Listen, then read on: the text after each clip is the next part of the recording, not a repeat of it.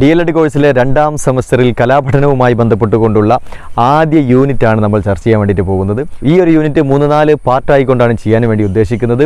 അപ്പോൾ നമുക്കറിയാം കലാപഠനം എന്ന് പറയുന്നത് നാല് മേഖലയായിക്കൊണ്ട് നമ്മൾ പഠിക്കുന്നു. ഒരു മേഖല നാടകമാണ് മറ്റൊന്ന് ചിത്രരചന മറ്റൊന്ന് നൃത്തം മറ്റൊന്ന് സംഗീതം. ഈ നാല് മേഖലയുമായി ബന്ധപ്പെട്ടുകൊണ്ടുള്ള പഠനങ്ങളാണ് വിവിധ സെമസ്റ്ററുകളിൽ നമ്മൾ പഠിക്കുന്നത്. അതിന്റെ പ്രായോഗിക പരിശീലനമൊക്കെ നമ്മൾ ചെയ്യുന്നു. ഈ ഒരു സമയമായതുകൊണ്ട് ഓൺലൈനിലൂടെയാണ് കാര്യങ്ങളൊക്കെ ചെയ്തുകൊണ്ടിരിക്കുന്നത്. എങ്കിലും നമ്മൾ അധ്യാപകരായി വിദ്യാലയത്തിൽ ചെല്ലുന്ന സമയത്ത് കലാപഠനത്തിന്റെ പരമാവധി സാധ്യതകൾ പ്രയോജനപ്പെടുത്തിക്കൊണ്ട് കുട്ടികൾക്ക് പഠനം എളുപ്പവും രസകരവും ഹൃദ്യവുമൊക്കെ ആക്കുന്നതിന് വേണ്ടിയിട്ടുള്ള ഒരുപാട് ഒരുപാട് കാര്യങ്ങൾ നമ്മൾ ഈ കോഴ്സിന്റെ ഭാഗമായിക്കൊണ്ട് അറിയുകയാണ് നമ്മൾ പരിശീലിക്കുകയാണ്. രണ്ടാം സെമസ്റ്ററിലെ കലാപഠനത്തിലെ ആദ്യ യൂണിറ്റിന്റെ പേര് ഞാൻ പറയുന്നില്ല അത് നിങ്ങൾ പറയണം. അതിന് ഞാൻ ചില സൂചനകൾ പറയുകയാണ്. സൂപ്പർ ഹിറ്റായ റാംജി റാവു സ്പീക്കിംഗ് എന്ന ചിത്രത്തിലെ നായികയുടെ പേര്. അതേപോലെ തന്നെ ആയിരത്തി തൊള്ളായിരത്തി എൺപത്തി ഒമ്പതിൽ ഇറങ്ങിയ സുരേഷ് ഗോപിയും ജയറാമും ഒക്കെ അഭിനയിച്ച ഒരു ചിത്രത്തിന്റെ പേര്. അപ്പോൾ ഈ രണ്ട് പേരുകൾ അടങ്ങിയിട്ടുണ്ട് നമ്മളുടെ ഈ യൂണിറ്റിന്റെ പേര്. അപ്പോൾ എന്താവും നമ്മുടെ രണ്ടാം സെമസ്റ്ററിലെ കലാപഠനത്തിലെ ആദ്യ യൂണിറ്റിന്റെ പേര്? രേഖകൾ വർണങ്ങൾ. അപ്പോൾ പേരിൽ സൂചിപ്പിക്കുന്നത് പോലെ തന്നെ ചിത്രരചനയുമായി ബന്ധപ്പെട്ടുകൊണ്ടുള്ള കാര്യങ്ങളാണ് നമ്മൾ ഈ യൂണിറ്റിലൂടെ പഠിക്കുന്നത്. വിവിധ ചിത്രരചനാ തന്ത്രങ്ങൾ അതേപോലെ തന്നെ ചിത്രകാരന്മാരെ പറ്റി ചിത്രരചനയുടെ സാധ്യതകൾ എന്നിവയൊക്കെ ഈ ഒരു യൂണിറ്റിലൂടെ നമ്മൾ പഠിക്കുന്നുണ്ട്. അതേപോലെ തന്നെ ചിത്രരചനയുടെ സാധ്യതകൾ പ്രയോജനപ്പെടുത്തിക്കൊണ്ട് മറ്റ് വിഷയങ്ങളുടെ പഠനം എങ്ങനെ ലളിതമാക്കാം ഹൃദ്യമാക്കാം രസകരമാക്കാം എന്നുള്ള കാര്യങ്ങളൊക്കെ യൂണിറ്റിൽ പഠിക്കുന്നുണ്ട്. അപ്പോൾ ഇത് മൂന്ന് പാർട്ടായിട്ടാണ് നിങ്ങളിലേക്ക് എത്തിക്കുന്നത്. അപ്പോൾ ആദ്യ പാർട്ടിലേക്ക് എല്ലാവർക്കും ഹൃദ്യമായ സ്വാഗതം. ഇത്തരത്തിലുള്ള ഒരുപാട് ബോർഡുകൾ നിങ്ങൾ പല സ്ഥലങ്ങളിലും കണ്ടിരിക്കും. ഈ ബോർഡ് കാണുമ്പോൾ നിങ്ങൾക്ക് എന്താ മനസ്സിലാവുന്നത്? അല്ലെങ്കിൽ ഈ ബോർഡ് നമ്മൾ എവിടെയാണ് കാണുക സാധാരണ? ഒന്ന് ആലോചിച്ച് നോക്കൂ. ഓക്കെ ഇനി മറ്റൊരു ബോർഡ് കാണിക്കാം. ഇതേപോലെയുള്ള ബോർഡുകൾ നമ്മൾ പല സ്ഥലത്തും കാണാറുണ്ട്. ഈ ബോർഡ് കാണുമ്പോൾ നമ്മൾക്ക് എന്താണ് മനസ്സിലാവുന്നത്? അല്ലെങ്കിൽ ഈ ബോർഡ് എന്തിനെയാണ് സൂചിപ്പിക്കുന്നത്? ഇനി ഈ ബോർഡൊന്ന് ശ്രദ്ധിച്ചു നോക്കൂ. നമ്മൾ സർവസാധാരണയായി എല്ലായിടത്തും കാണുന്ന ഒരു ബോർഡാണിത്. ഈ മൂന്ന് ബോർഡിലൂടെയും നിങ്ങൾക്ക് കിട്ടിയ ആശയം എന്താണ്? അല്ലെങ്കിൽ ഈ ബോർഡുകൾ എന്തിനെയാണ് സൂചിപ്പിക്കുന്നത്?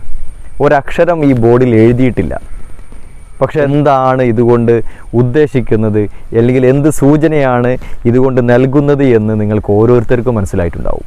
അപ്പോൾ ഇതിൽ നിന്നും നമ്മൾക്ക് മനസ്സിലാവുന്നത് നിത്യജീവിതത്തിൽ ആശയങ്ങളും നിർദ്ദേശങ്ങളും കൈമാറുവാനുള്ള ഏറ്റവും ലളിതമായിട്ടുള്ള ഒരു രീതിയാണ് ചിഹ്നങ്ങൾ എന്ന് നമ്മൾ ഇതിൽ നിന്നും മനസ്സിലാക്കുകയാണ്.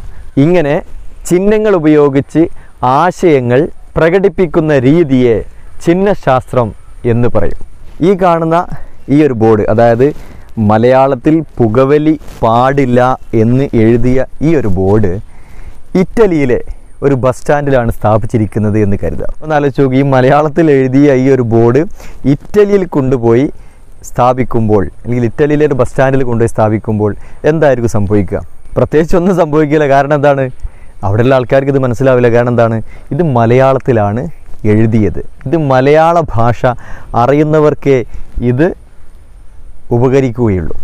ഭാഷയുടെ ഏറ്റവും വലിയ പ്രതിസന്ധി എന്ന് പറയുന്നത് അത് കേൾക്കുന്ന ആൾക്ക് അല്ലെങ്കിൽ അത് കാണുന്ന ആൾക്ക് ആ ഭാഷ അറിയില്ല എങ്കിൽ ആശയം അവിടെ വിനിമയം ചെയ്യാതെ പോകുന്നു എന്നുള്ളതാണ്.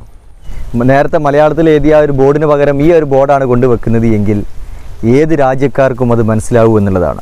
ചിത്രത്തിനൊരു ഭാഷയുണ്ട് അല്ലെങ്കിൽ ദൃശ്യ ഭാഷ. അത് ഏത് ഭാഷ ഉപയോഗിക്കുന്നവർക്കും ഏത് രാജ്യത്തുള്ളവർക്കും അത് മനസ്സിലാവും എന്നുള്ളതാണ്. ഒരു ചിത്രം മുന്നോട്ട് വെക്കുന്ന ആശയം ഭാഷയുടെ പരിമിതികൾ മറികടന്നുകൊണ്ട് അതിലെ ആശയം ആസ്വാദകരിൽ എത്തിക്കുന്നതിൽ പരിപൂർണമായി വിജയിക്കുന്നു എന്നുള്ളതാണ്. അതുകൊണ്ട് ചിത്രത്തെ അന്തർദേശീയ ഭാഷ അല്ലെങ്കിൽ ഇന്റർനാഷണൽ ലാംഗ്വേജ് എന്ന് പറയും. ഈ ഫോട്ടോ ആരുടേതാണ് എന്ന് പറയാൻ പറ്റുമോ? പറയാൻ പറ്റുമോ? നോക്കൂ. ഇപ്പോൾ പറയാൻ പറ്റും അല്ലേ?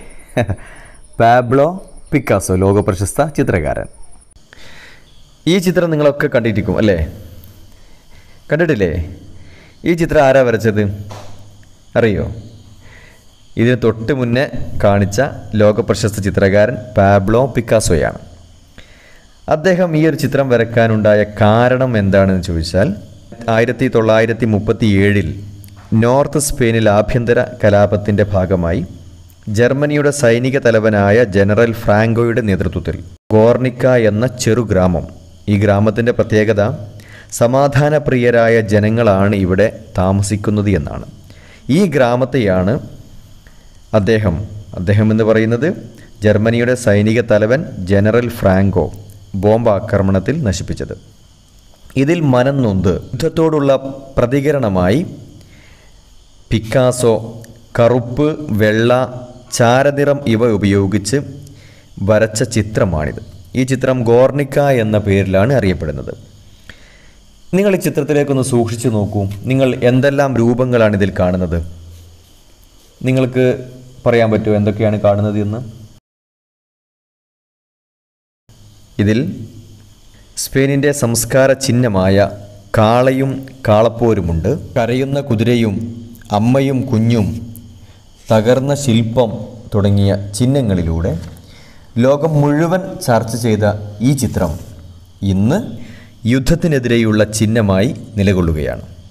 ഭാഷയുടെയോ വർണവർഗങ്ങളുടെയോ വേർതിരിവില്ലാതെ പിക്കാസോയുടെ ഗോർണിക്ക ആസ്വാദകരുടെ മനം കവർന്നുകൊണ്ട് ഇപ്പോഴും നിലകൊള്ളുന്നു എന്നുള്ളതാണ്. ഇതിൽ നിന്ന് നമ്മൾ മനസ്സിലാക്കുന്ന ഒരു കാര്യം ആശയവിനിമയത്തിന് ഏറ്റവും അനുയോജ്യമാണ് ചിത്രകല.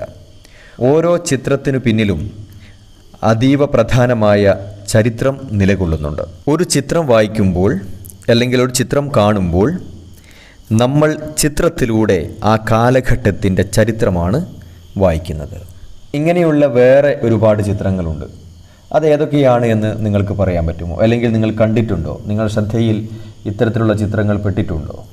ഇതിൽ നിന്നൊക്കെ നമ്മൾ മനസ്സിലാക്കുന്നത് ആശയങ്ങൾ സംവേദനം ചെയ്യാൻ ആശയങ്ങൾ മറ്റുള്ളവരിലേക്ക് എത്തിക്കാൻ അത് ഭാഷകളുടെ എല്ലാ പരിമിതികളും കടന്നുകൊണ്ട് ഏത് രാജ്യക്കാർക്കും ആശയങ്ങൾ പെട്ടെന്ന് വളരെ എളുപ്പത്തിൽ മനസ്സിലാക്കാൻ പറ്റിയ ഒരു ഉപാധിയാണ് ചിത്രരചന എന്നുള്ളതാണ് നമ്മൾ ഇത്രയും പറഞ്ഞത്. ഭാരതത്തിന്റെ അഭിമാനമായ ചിത്രകാരൻ രാജ രവിവർമ്മ.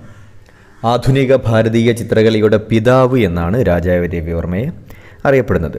അദ്ദേഹത്തിന്റെ വളരെ ഫേമസ് ആയിട്ടുള്ള ഒരു ചിത്രമാണ് ഈ ചിത്രം.